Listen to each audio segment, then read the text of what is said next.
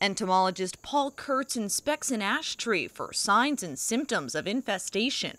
This tiny jewel tone beetle may look harmless, but the emerald ash borer is wiping out ash trees throughout half the country and parts of Canada, and it's found its way to New Jersey.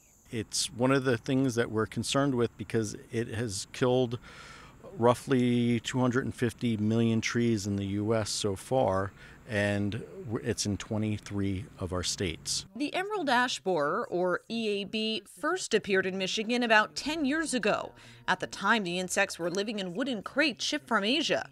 In May, a landscaper spotted infested trees in Somerset County, and the beetle was just found in Burlington County. Kurtz says so far the Department of Agriculture has identified six infested trees. New Jersey and Delaware have been known as the donut hole. All the other states around us have had emerald ash borer, and we've been anticipating it. The EAB is about a half an inch long and an eighth of an inch wide. It only feeds on ash trees. It can fly up to 10 miles per flight. A female lays her eggs on the bark, and the larvae begin eating the live tissue under the bark. And what it does is, as it feeds, it creates these serpentine S shaped galleries.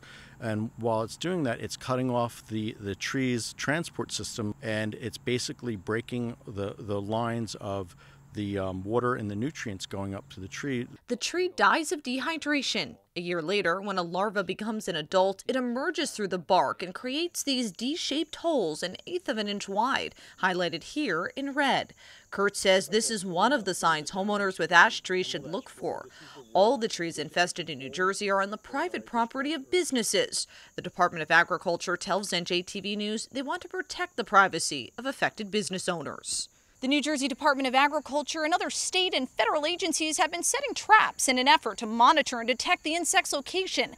Since 2010, about 1,750 traps have been deployed throughout the entire state. The insect found in Burlington County was caught in one of these, making it the first EAB ever found in a trap here in New Jersey. This is what we refer to as the purple sticky trap, and it has three different attractants for the emerald ash borer.